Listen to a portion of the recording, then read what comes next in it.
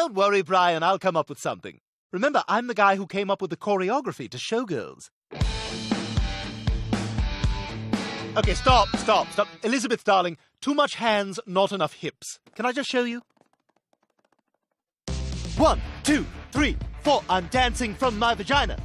One, two, three, four. I'm grinding. I'm grinding. Orgasmize, orgasmize. And we're done. You do 20% that, and we got a movie.